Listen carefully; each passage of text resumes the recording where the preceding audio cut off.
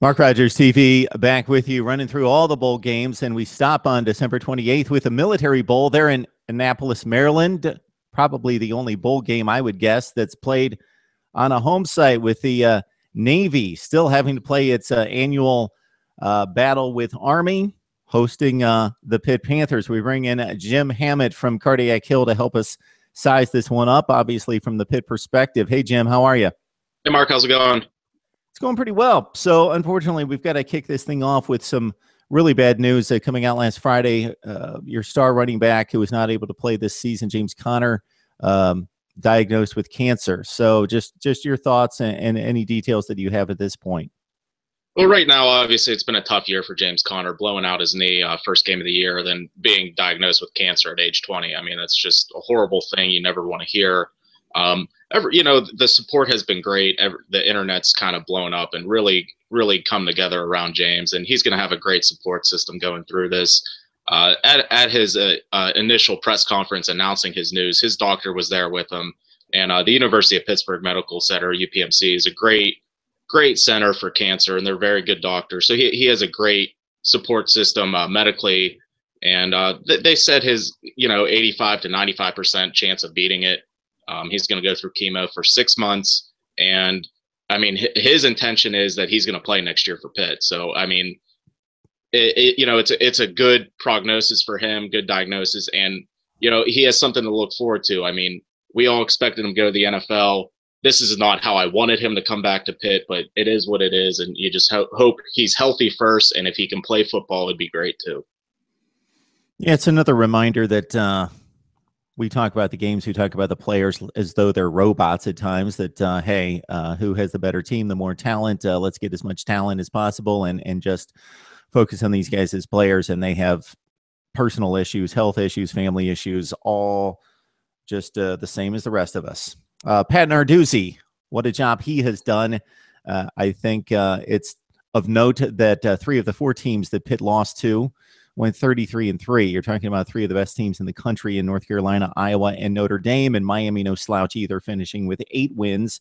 Narduzzi gets a two year extension through 2021. Anything really to read into that or any benefits other than obviously locking up your coach possibly for another few years? Yeah, obviously, uh, you know, not even having a full season under his belt, a full recruiting cycle under his belt, it does seem a little premature that he's getting an extension in the first place. But he's done a good job. Um, you know, eight and four, you know, breaking the cycle of four or five straight six and six seasons. So he's really brought the fan base together. Uh, we've talked before about how his energy on social media, uh, recruiting, he just he just seems to have a, a passion for this, and he he really brought the fan base together in a short amount of time. So he, he's a Youngstown, Ohio guy, so you know that's right down the road from Pittsburgh. So he, he he's kind of in his home base. So you, you kind of hope he's not going to go anywhere big. Uh, there was no real talks, even with all the coaching coaching jobs open this year, that he was going to go anywhere. So I think it's keep him around. Let's give him money and uh, let's see what he can do because the first year was very promising. Yeah, and if of course he's able to forge any kind of uh, trench into Ohio and stay there in Pennsylvania, that's some of the best recruiting country, certainly um, in all of college football, and especially in the Midwest and somewhat to the northeast. All right, Nathan Peterman takes over the quarterback job early in the season, throws 19 touchdowns, five picks, 61%. So it appears just based on statistics alone that there was an upgrade in the Pitt passing attack because of that change. Yeah, Nate Peterman did a good job. Obviously, early in the season, there was some controversy uh, taking over for the incumbent starter, Chad Voytik, but Peterman played well. Um, he, he's more of a game manager. I mean, he's not going to go out and throw 350 yards and five touchdowns a game, but he he limited his mistakes, didn't throw a lot of interceptions, took care of the ball, and he he you know he got the ball to Tyler Boyd in the tight ends, and you know Pitt had a very good season, and there's a lot of promise with him heading into the bowl game and into next year. You mentioned uh, Tyler Boyd. We obviously had to talk about James Conner as well. Uh, two of the bigger stars in college football coming into 2015, and um, Conner's missed after the injury in game one against Youngstown State. Uh, it looked to be a running back by committee um, there for a couple weeks, even though I know Qadree Ollison had the huge game in, in stepping in initially. Then it got spread out a little bit, and then he just kind of took the reins from there. Yeah, Ollison uh, had a very good season. He was actually named ACC Freshman of the Year, had a thousand yard season. Um, yeah, he was uh, kind of going in the camp, not the guy. If Conner got hurt, I don't think he was the expected starter. So it was kind of a surprise for a lot of people following the team. But he really, uh, he, he's in the mold of James Conner, 6'2", 230, kind of a bigger back, and he did a very nice job this season. Yeah, you mentioned Boyd. Obviously, it all starts with him in the passing game, and he also gets a ton of yardage uh, on jet sweeps and the like with like 250 yards. He caught 85 balls, six touchdowns. Uh, it seems to be a regular um, kind of talking point in the passing game when talking about Boyd and any support there. Uh, Dontez Ford and JP Holtz had decent seasons, but obviously Boyd uh, gets targeted as much as anybody in college football. Yeah, Boyd actually was the only ACC player unanimous first team uh, selection. So, you know, that's even considering Deshaun Watson, the Heisman candidate. So Boyd was the only one. So he, he was definitely recognized by the coaches of the ACC. He, he, he had a great year. Um, you know, he even missed the first year and still put up eight or first game of the year and put up 85 catches. So he's just a very dynamic player. And right now the talk with him is, is he going to stay or is he going to go pro? And most people are thinking he's leaning towards the NFL. Yeah, Clemson, North Carolina, very stacked at wide receivers. Miami as well. Uh, that that speaks to Tyler Boyd as well. And then you throw that in regardless of position, and that uh, speaks volumes. Um, looking at uh, the place kicking, I had to notice this. Chris Blewitt's missed uh, seven field goals, fifteen of twenty-two. If this is a close game, any any concerns there?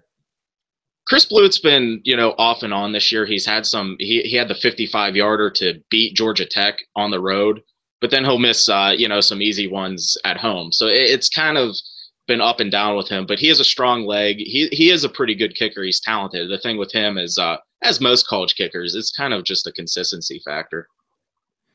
You know, when we talked in the preseason, it seems, if my my memory serves me correctly, that uh, the linebacking core was rock solid, and you you had no concerns there certainly uh, Michael Caprara and uh, Matt Galambos had uh, fine seasons. Galambos with 10 tackles for loss, but uh, these these kids playing defensive back and, and, the game that I watched gun to gun was the North Carolina game. Saw much of Notre Dame, some other games, Miami as well. Jordan Whitehead, freshman DB's got a hundred tackles, and Avonte Maddox, also a young defensive back, uh, sophomore, uh, playing really well with three interceptions. just your thoughts about who we can look for. There's obviously going to be a ton of people that see Pitt for the first time uh, in this bowl game. Just your thoughts about the defense and who we should look out for. Jordan Whitehead is a, is a tremendous talent. He was the the top rated high school player coming out of the state of Pennsylvania last season. Uh, come the Pitt started ever, since day one. Uh, the ACC Rookie of the Year. Uh, he's just a tremendous player. Uh, he's one of those guys where you kind of see where Narduzzi's going to want to try to take the program, get big time defensive backs that can make plays. And Whitehead at safety has been outstanding this year. And I think it's going to be a lot of fun to watch him against Navy because he, he had he had some pretty big tackles against Georgia Tech in that triple option. So you're going to see Jordan Whitehead. He's only 5'10, but he packs a lot of punch and he's, he's going to come up with some big hits. Okay, Jim, there it is. The triple option. Uh, Georgia Tech is the obvious comparison. Pitt probably has a bit of an advantage over most teams that have to face Navy out of conference in that they face uh, Georgia Tech there in the coastal every year. Keenan Reynolds, what a career this kid has put together. Uh, the all time touchdown record holder for rushing 83 touchdowns, 29 passing. That's an all time record at Navy. If you know anything about Navy, uh, people out there that uh, they've never thrown the ball much. So 29 for a career is pretty stout. So it all comes down to running the football. This kid's got 19 rushing touchdowns just this year.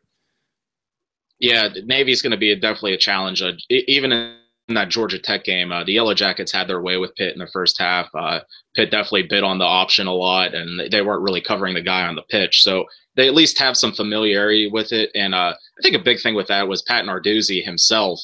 That was the first time he coached against the triple option. I think he said in like 10 years. So it, it's going to be tough because Navy's good. Navy's better than Georgia Tech this year. So it's definitely a cause for concern. Uh, they run it so well. They're playing at home and it's just it's going to be a great challenge. But I, I, think if Pitt could win this game, it'd be it would be a big statement heading into the offseason with a nine and four record, beating uh, Navy on their home field. Jim Hammett joins us from Cardiac Hill, covering Pitt football for SB Nation. Um, You know, it seems as though it's the same with Navy and Georgia Tech. When they have better teams, they're still running the ball and doing it uh, 85% of the time, but they can at least burn you downfield and they're somewhat efficient. So you, you go down through the years and you will see Navy quarterbacks, no kidding, with 40% completion percentage.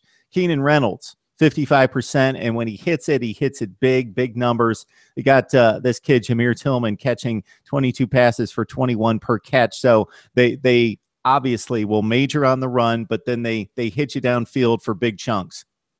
Yeah, absolutely. And, uh, it, it, it, just presents a lot of challenges, like I mentioned with Jordan Whitehead. He's obviously going to have to come up and make some tackles. The linebackers are going to have to be on their games. And the big thing with Navy or any triple option team, it's containing uh, the quarterback, the ends making plays, kind of forcing him into decisions. Pitt has a pretty good defensive end. Ejuan Price had a big year, 11 sacks. So he, he's going to be a guy that's important. He's going to have to blow up some plays in the backfield for Pitt to have, you know, a chance to slow them down. Navy's going to score their points, but Pitt has to limit it, obviously. And so Navy uh, comes in, uh, and if you look at their defensive stat sheet, uh, nobody really jumps out. Uh, guys are making plays all over the field, so it's not one or two guys on that defense. Will Anthony at defensive end, 10 and a half tackles for loss, six and a half sacks.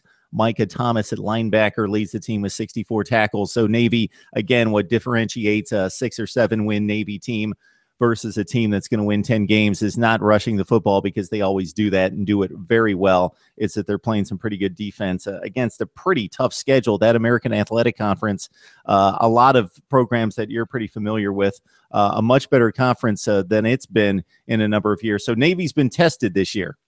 Yeah, absolutely. Uh, you, you know, at, at, one given time, I think there was four ranked teams out of the American so it, was it was definitely a dogfight in that league this year. And obviously Navy played Notre Dame this year. They gave the Irish a game. They probably gave Notre Dame a better game than Pitt did. So Navy is definitely equipped to hang with anyone in the country this year. It's it's one of it's a very special Navy team, and they were only maybe a game away from you know potentially getting in that New Year's Six, one of the one of the big bowl games. Yeah, so it's kind of an odd thing, but uh, Navy was still a, a game to play and its most important game for traditionalists. Certainly, they will have the eyes of the nation. If you want to watch any college football this Saturday, it's going to be Army against Navy, and that's just a special thing unto itself. Uh, Jim Hammett joining us from Cardiac Hill to help us break down Pitt and Navy in the Military Bowl. Jim, thanks so much for joining us. Thanks for having me, Mark.